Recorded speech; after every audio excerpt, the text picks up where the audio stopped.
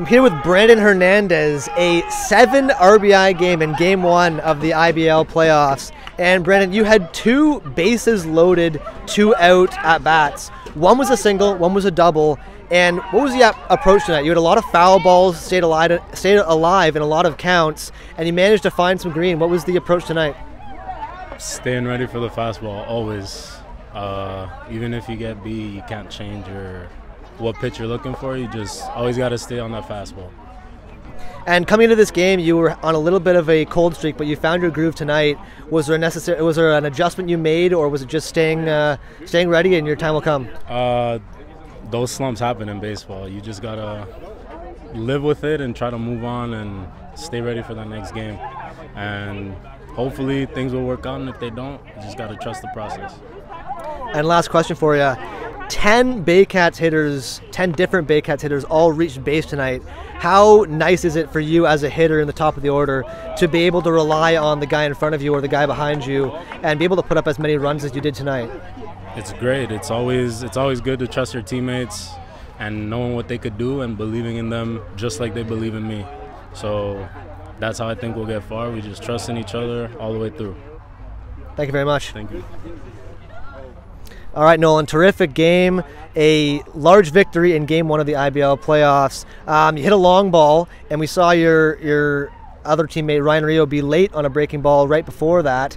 For a power hitter like yourself, who also takes walks and hits for average. Uh, what's that approach like to be able to hit long balls, but also be able to keep up with different off-speed pitches and make contact no matter the situation? Uh, just going in there and competing. I, you know, advantage count there. I think I was in a two-one count, so uh, hunting that fastball, and he gave me one out over the plate, and I put a good swing on it, and uh, yeah, just going up to the plate right now and competing. And um, same same question as Brandon. A total of ten different Baycats hitters reached base safely tonight. Um, how important is it, or how nice is it for you as a hitter to step into this lineup and know that the guy in front of you or the guy behind you is going to do their job and put you in the best situation to be successful? Yeah, it's uh, it's awesome. I mean, trust these guys behind me, trust them in front of me. You know, everyone's getting on base. We, Audie had a great game tonight, and Nando had a great game. You know, uh, those are big puzzle pieces and uh, we had great pitching too. So let's not forget, like Frank went there and shoved, and and Lacasse, you know, he he ran out of gas maybe there a little bit at the end, but uh, he he threw well for us, and you know, it's it's one by one right now. We're just trying to get wins. Thank you, Nolan. You're welcome. All right, with Baycats manager Josh Matlow and Josh, big win for your club. It looked like it was over early. Uh, let's start with the pitching. As you went with Frank Garces in Game One. Uh, what really brought you to, to, have him start in Game One over a guy like Cesar Rosado? Uh, Frank's a number one. He's a no-brainer. Um, Rosado. The beautiful thing about a five-game series is both of them have to pitch twice, so it really didn't matter um, who we went with first game. Frank's um, been consistent for us, especially in the playoffs. We wanted to get that first win. We know how important it is, and he shoved today. How was it like being back in the dugout for you, first game back after the suspension? You, you mentioned it to me before. You watched the games of the last week or so from a different perspective.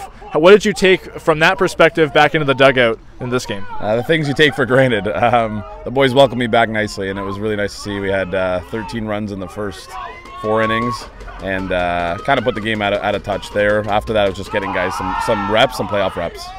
So what mentality now, as we had like that's game one of the playoffs? What mentality from the guys is instilled, knowing it maybe clean slate? You know, this game means more. What really went into their uh, approach? Uh, it's just uh, just keep the foot on the gas. We're just going to keep going. We're, we're a good team. This is what we're capable of. We we know that.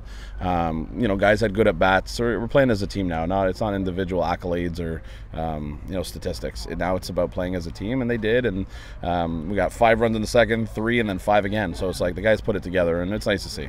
Lacasse had a really you know tough outing, I would say, right at the end of that ninth inning, but he still held it down. You know, what have you seen out of him to you know maybe keep him in that spot? Yeah, he's been consistent for us. I mean, it was a, a 13 nothing game or something like that at that point. Um, he ran out of gas. Obviously, he had 90 pitches in three innings, but we didn't want to use another arm, and uh, obviously neither did they. So it made sense. Uh, we don't have him this weekend anyway, so it's what it is.